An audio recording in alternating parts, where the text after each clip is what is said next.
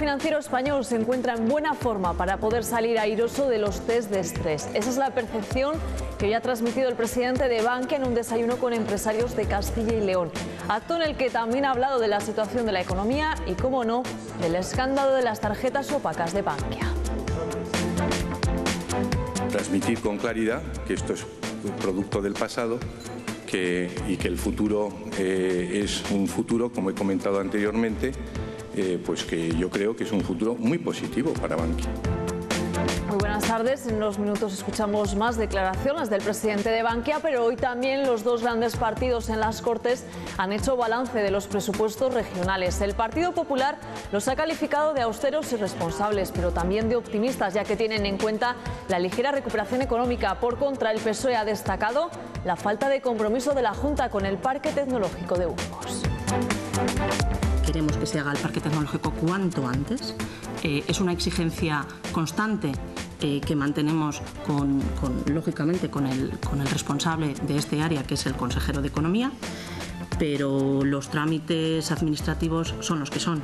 Creemos que si un presupuesto es la expresión cifrada de una voluntad política, desde luego en este presupuesto no hay ninguna voluntad política para que el Parque Tecnológico de Burgos eh, pueda ser un compromiso, pueda ser una realidad en 2015.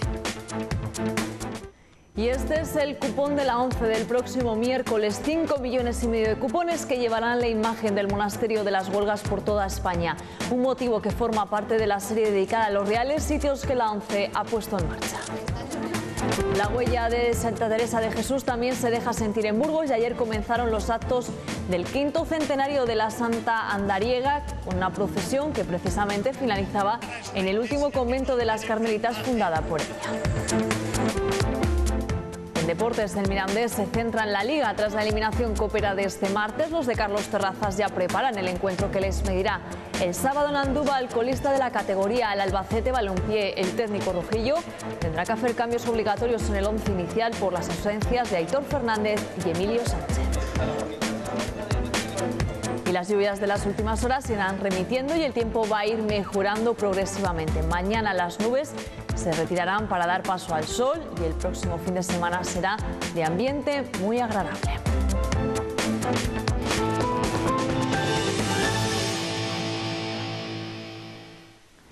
El sistema financiero español se encuentra en buena forma para poder salir airoso de los test de estrés, cuyos resultados conoceremos el domingo 26 de octubre. Esa es la percepción que hoy ha transmitido desde Burgos el presidente de Bankia en un desayuno con empresarios de Castilla y León organizado por la Cámara de Comercio, acto en el que también ha hablado de la situación de la economía y, cómo no, de Bankia. Goiri Golzarri se ha mostrado optimista en cuanto al reforzamiento conseguido por el sector bancario tras su reestructuración. Los resultados los conoceremos en poco más de una semana con los nuevos test de estrés. Yo creo que el sistema financiero español tiene unos bancos, en términos generales, muy saneados y muy solventes.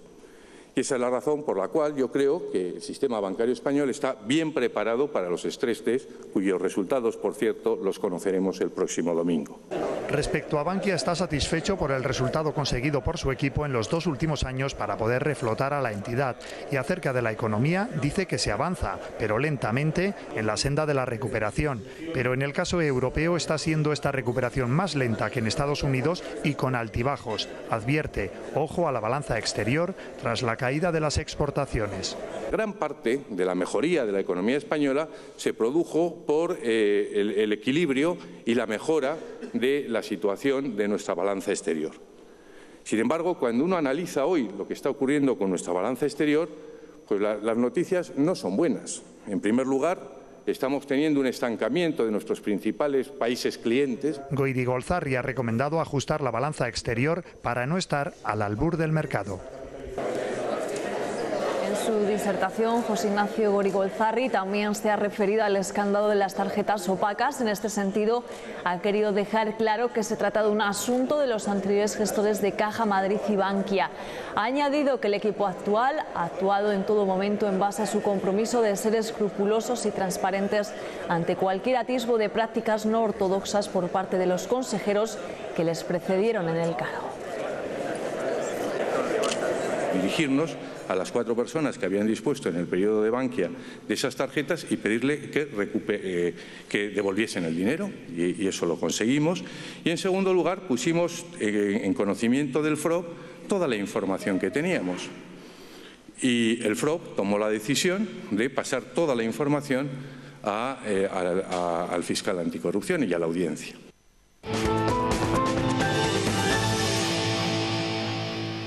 El Partido Popular ha defendido los presupuestos regionales de 2015, los han calificado de austeros y responsables, pero también de optimistas, ya que consideran que tienen en cuenta la ligera recuperación económica en la comunidad. El Partido Popular ha asegurado que los presupuestos regionales para 2015 consolidan la recuperación económica. Además, ha destacado que de los 819 millones previstos para la provincia, el 80% se ha destinado a servicios sociales.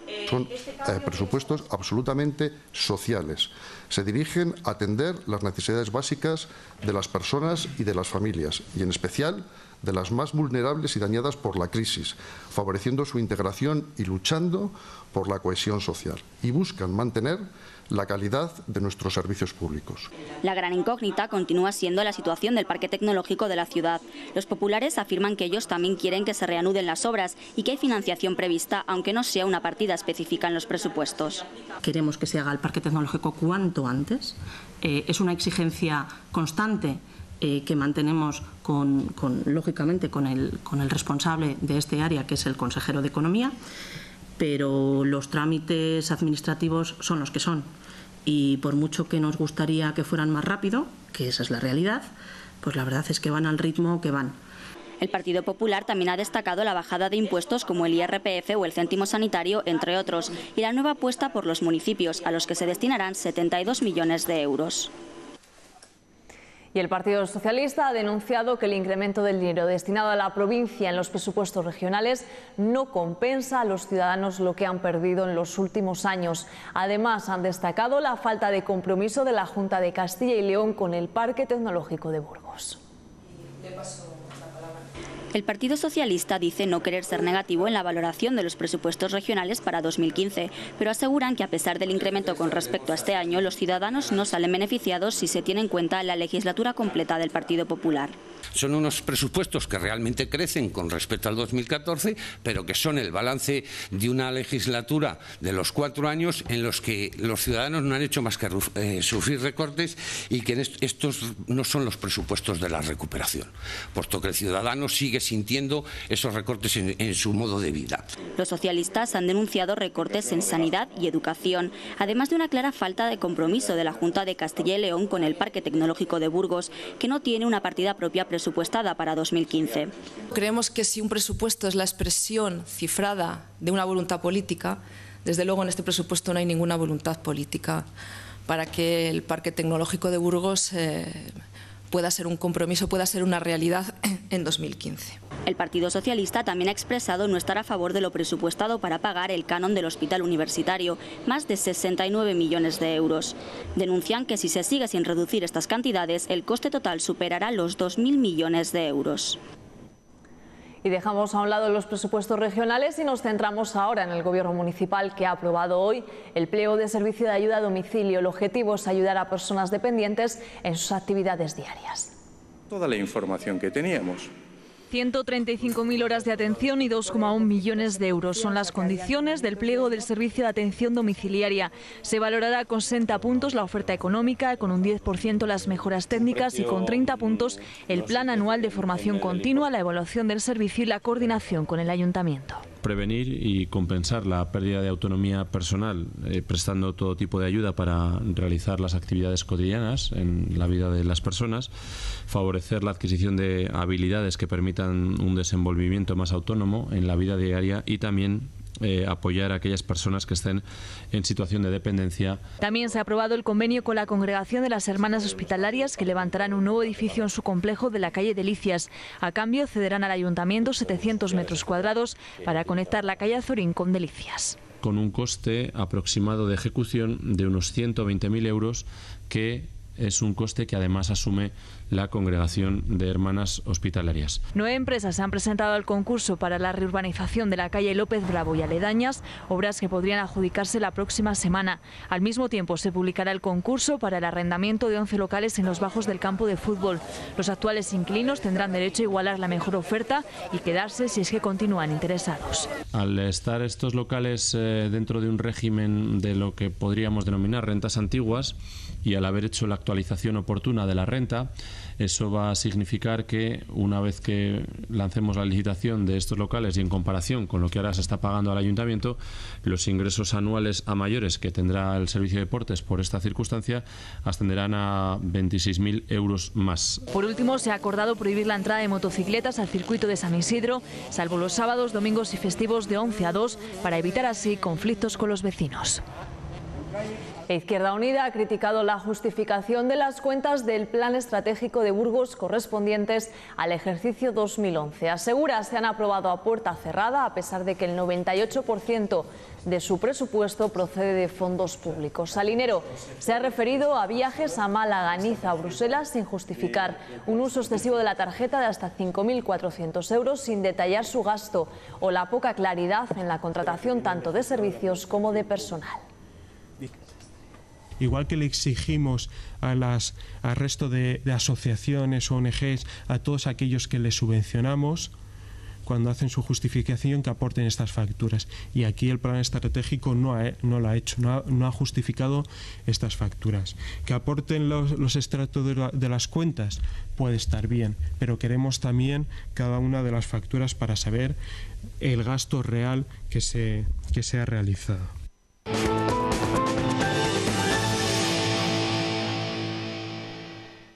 La ciudad de Burgos se suma al quinto centenario de Santa Teresa de Jesús. Las actividades que se prolongarán durante todo un año comenzaron ayer con una procesión que concluyó en el convento de las Carmelitas Descalzas. La huella de Santa Teresa también se deja sentir en Burgos, ciudad que conserva el último convento que fundó la abulense poco antes de su muerte y en el que las madres carmelitas descalzas todavía conservan algunos recuerdos de su paso. Ellas tienen algunas cosas de, digamos, del paso de ella, tienen algún recuerdo, tienen concretamente, si no estoy muy equivocado, entonces tendrían que hablarlo con ellas, tienen una, una sandalia, una zapatilla y luego después tienen el cuarto donde ella estuvo. Las actividades conmemorativas de este quinto centenario se abrieron en la tarde de ayer con una procesión de la imagen de la Santa. Además, los conventos de los padres y las madres carmelitas acogen sendas exposiciones dedicadas a la vida de Teresa de Cepeda y Ahumada tienen algunos cuadros de, donde se presenta un poco la vida de Santa Teresa, después los escritos de ella y algunas fotografías, eh, me refiero de cuadros, de imágenes, eh, ese tipo de cosas. Varios centenares de devotos de Santa Teresa se congregaron ayer en un acto en el que también estuvo presente el alcalde de Burgos, Javier Lacalle. 5 millones y medio de cupones de la ONCE difundirán el próximo miércoles la imagen del monasterio de las huelgas por todo el país. Un motivo que forma parte de la serie dedicada a los reales sitios que la ONCE pone en marcha con la colaboración de Patrimonio Nacional. Próximamente la organización dedicará otro de sus cupones al Valle de Mena, una forma excepcional de difundir los valores y atractivos de Burgos. El año pasado celebrábamos el 75 aniversario y que esto es la cuna, la cuna de donde nació nuestra entidad y por eso pues estamos muy orgullosos de todo ello. Aproximadamente estamos teniendo entre dos y tres cupones eh, anuales que la ONCE eh, dedica algún elemento de, la ciudad de Burgos y yo creo que es digno de agradecer. Y es digno de agradecer porque son eh, miles y miles de cupones los que se distribuyen por toda España y sirve para que muchas personas que no conocen alguno de esos eh, lugares de la programación o de las actividades que tenemos en Burgos, pues evidentemente lo puedan conocer a través de los cupones. Precisamente el Monasterio de las Huelgas ultima ya los preparativos de la muestra dedicada al monarca Alfonso VIII, fundador de ese monasterio, una exposición que contará con 26 piezas originales de la época.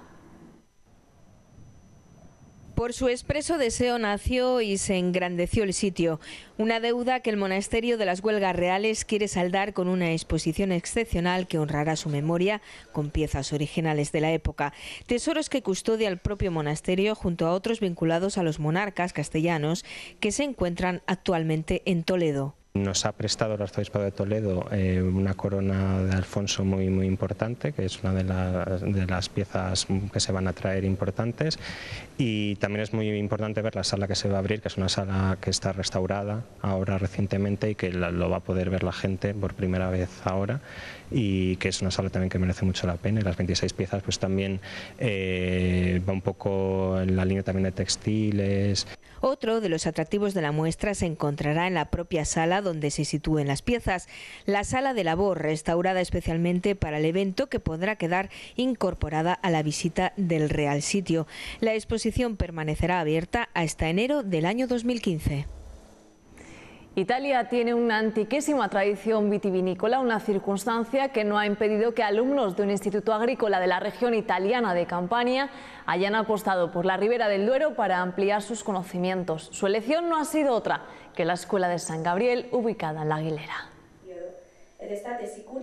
16 alumnos italianos procedentes del Instituto Profesional Agrícola de Salerno, al sur del país transalpino, han convivido durante el último mes en la ciudad de la educación San Gabriel. 30 días en los que han realizado un curso de vitivinicultura express en plena Ribera del Duero. No deja de ser llamativo que, a Ribera del Duero, que, que tiene su importancia capital a nivel nacional, pues que Italia, como bien dices, que tiene una cátedra en el mundo del vino, pues que haya elegido precisamente Aranda de Duero, la Ribera del Duero, como el mejor lugar para, para formarse. El programa europeo Erasmus ha permitido que durante cuatro semanas alumnos y profesores hayan realizado este curso intensivo, no solo teórico, sino también práctico. Estudiantes que solo han estado en formación 15 días, esto es un peligro, además justo el periodo de vendimias, que es el más crítico para una bodega, pues desde luego pues eh, agradecer sin lugar a dudas a, pues, a bodegas como López Cristóbal, el dominio de, de Cair, Valdubón, la nuestra, San Gabriel, que hayan abierto sus puertas de par en par pues a que estos estudiantes italianos pues hayan podido ver cómo hacemos el buen vino de la Ribera del Duero. Todo el curso se ha visto enriquecido con el intercambio cultural entre ambos países. El balance es del todo positivo para nosotros y para ellos y desde luego pues eh, la prueba está superada y nos abre la puerta pues a seguir trayendo pues más estudiantes a este corazón preciado de la Ribera del Duero como es Aranda de Duero. Sin ir más lejos, el Colegio San Gabriel acogerá a partir del mes de noviembre a un nutrido grupo de estudiantes chinos.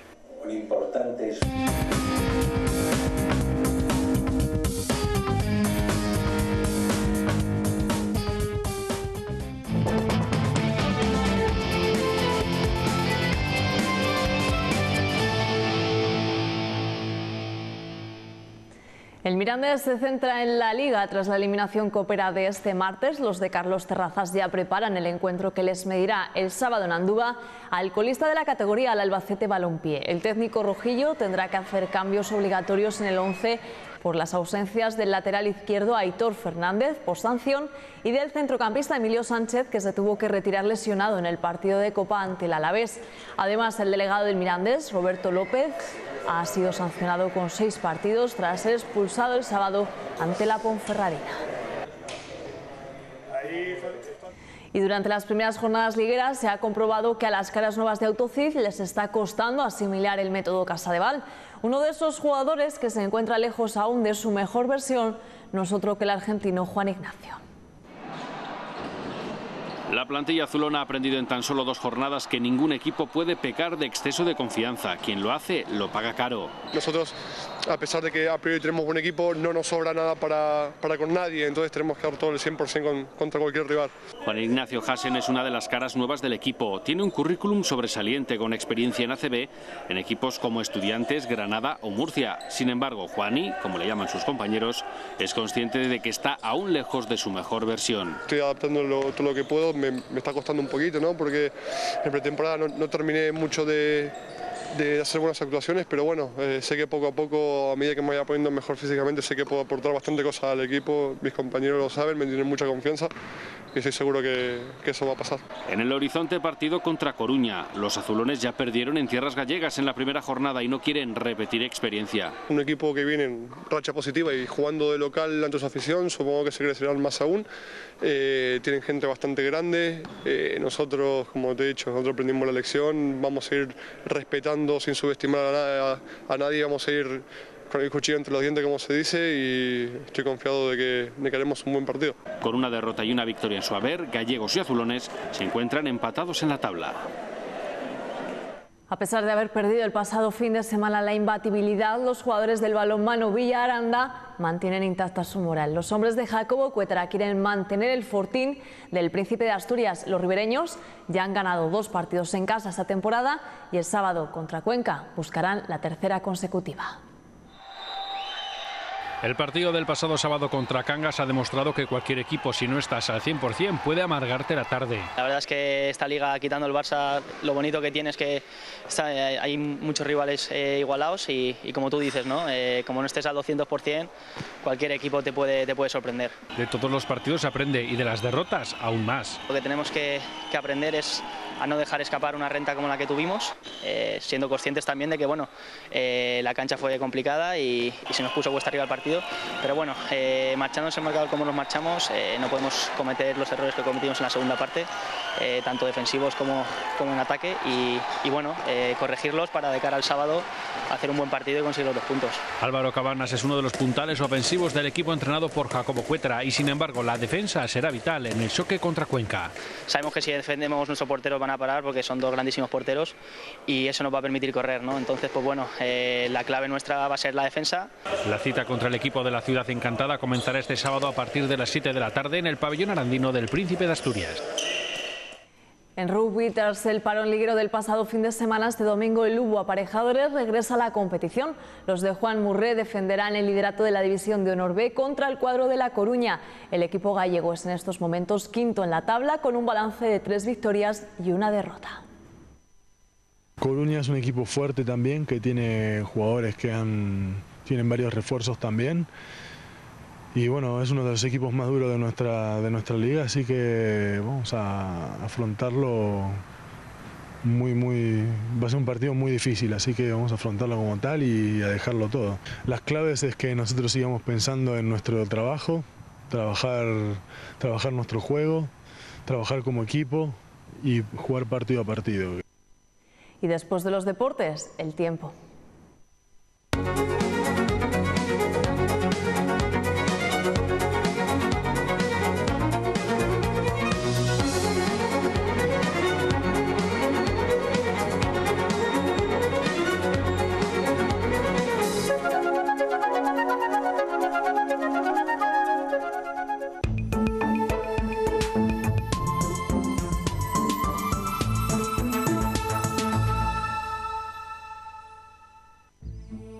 La imagen del Meteosat nos mostraba cómo hoy la nubosidad se centraba sobre todo en el noroeste de la península ibérica, donde seguían cruzando los frentes y dejando lluvias importantes en dicha zona, mientras que en el resto había nubes, pero ya alternándose con grandes claros en el centro.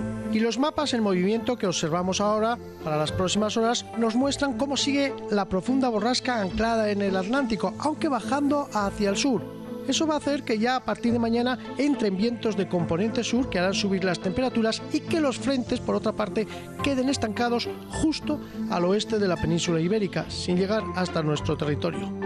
Por eso mañana va a mejorar el tiempo de forma progresiva. A primeras horas todavía habrá algunas nubes, pero por la tarde quedará soleado. En el sur de la provincia, por la mañana habrá algunas nubes altas y medias, pero luego ya por la tarde grandes claros y además subirán las temperaturas de forma notable, con máximas sobre 23 a 24 grados incluso, y mínimas también suaves, se quedarán sobre los 11-12 grados. Por el oeste y noroeste es donde habrá más nubosidad, incluso posibilidad de algún chubasco, algunas gotas a primeras horas de la mañana. Pero según avance la mañana, a partir del mediodía y sobre todo por la tarde, aquí también se abrirán grandes claros. Las temperaturas, debido a los vientos de componente sur, subirán, con máximas sobre 20 a 21 grados. En Burgos Capital tendremos nubes por la mañana, con algunas gotas a primeras horas, pero ya por la tarde quedará despejado y subirán también aquí en la capital las temperaturas que mañana serán agradables. Por el norte y nordeste, algunas nubes bajas, nieblas a primeras horas en el Valle del Ebro y luego por la tarde nubes altas sin importancia, con ascenso de temperaturas notable, máximas que pueden incluso acercarse a los 25 grados, especialmente en el Valle del Ebro. Para el sábado tendremos jornada de sol y temperaturas agradables. Y el domingo y el lunes máximas acercándose a los 25 grados en Burgos Capital con ambiente muy agradable. Será el veranillo, el veranillo que se presenta por esta época y que se denomina del membrillo. Desde hace casi seis años, los Therapy Clowns acuden una vez por semana y por parejas a visitar a los niños ingresados en el hospital. Apoyados por pequeñas subvenciones o autofinanciándose, consiguen sacarles una sonrisa y que se olviden por un rato del día a día del hospital. Alicia, Carmen, David, Paola y Ana llevan casi seis años colocándose la nariz roja y actuando para los niños antes del Hospital General Yagüe y ahora del Hospital Universitario. 37 niños ingresados en la unidad de pediatría disfrutan un día a la semana de la música, el canto, la magia y los gas de los payasos Therapy Clowns. Nosotros siempre hablamos antes con el equipo médico para saber qué nos vamos a encontrar en esa habitación y con eso nosotros trabajamos. Por eso decimos, hay todo un trabajo antes de estar en la puerta para que luego la intervención, que es lo que llamamos nosotros eh, cada actuación en la habitación, para que luego la intervención eh, salga con un 100% de, de posibilidades de que el niño se lo pase bien, se divierta y que nos divirtamos juntos. En la actualidad realizan su actividad en la planta de pediatría, la unidad de cuidados intensivos pediátricos, el hospital de día y las urgencias infantiles. Su principal objetivo, sacar una sonrisa a los más pequeños, pero los beneficios van más allá. Según un estudio publicado por el psicólogo residente de cuarto año Antonio García, sus actuaciones reducen la ansiedad y benefician la tensión y la frecuencia cardíaca. De una forma cuantitativa se ha podido demostrar la influencia de los payasos en el, niño. Posteriormente también hacía una observación y se hacían test a los niños, eh, test psicológicos para evaluar pues, lo que ellos habían sentido. El estudio también se realizaba posteriormente, una semana después de salir del hospital, se hacía una encuesta a los padres al mes y a los seis meses. Entonces, bueno, ha sido un estudio completo. Therapy Clowns intervienen en el UBU y también en el Hospital Fuente Bermeja para personas con enfermedad mental grave. Pues así nos despedimos. Más noticias a las 9 de la noche. Disfruten de la tarde. Adiós.